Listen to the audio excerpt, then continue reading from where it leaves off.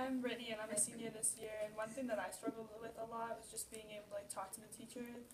Um, don't fear her.